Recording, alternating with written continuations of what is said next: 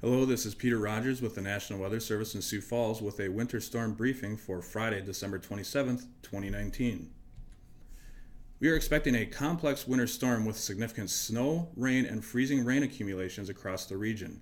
This will impact large portions of Wyoming, Nebraska, South Dakota, North Dakota, and Minnesota, beginning tonight and continuing through the weekend and into Sunday.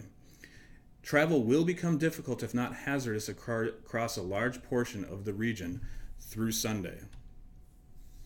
Looking at the timing of precipitation, it is expected to lift northward into South Dakota later tonight as a mixed bag of snow, rain, and freezing rain.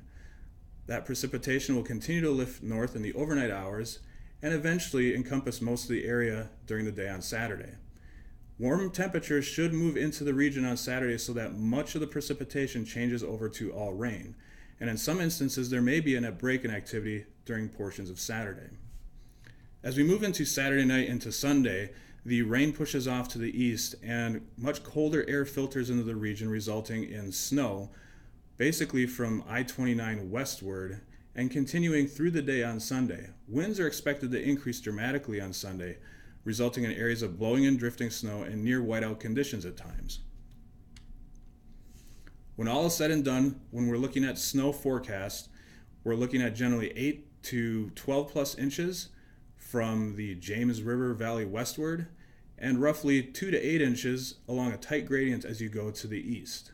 Snow rates of 1 inch per hour or more are possible Saturday night into Sunday. Because of the warmer temperatures, this snow will be wet and heavy. Expect roads to become slick and snow covered, making travel difficult if not hazardous.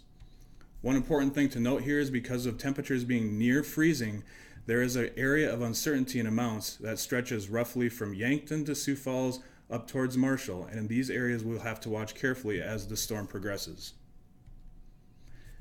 There is a threat for icing across the region with this system, and the greatest threat extends from eastern, southeast South Dakota into southwest Minnesota and northwest Iowa, with accumulations of roughly a tenth to a quarter of an inch of ice, basically the areas highlighted in dark orange or red. The greatest threat for icing is tonight through Saturday morning and again Saturday evening as rain transitions back to snow. Roads will become slick and ice covered, making travel difficult. And if the ice does accumulate to a greater depth, some breakage of trees and power lines is also possible.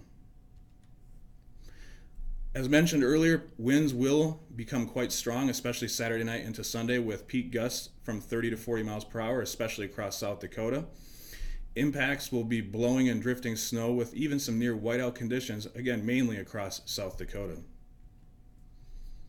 In summary, travel will become difficult, if not hazardous, tonight through Sunday, but there may be that brief break in activity during the day on Saturday as the warmer temperatures move in, with most precipitation changing to rain. Significant snow and ice accumulations are expected, so make sure to check road conditions before you leave home. And if you must travel, please pack a emergency supply kit. Uh, you can keep up to date with the latest forecasting conditions as the storm progresses throughout the weekend. You can interact with us on social media either through Facebook or Twitter, or visit our website at weather.gov/fsd. Thank you for your time, and please stay safe this weekend.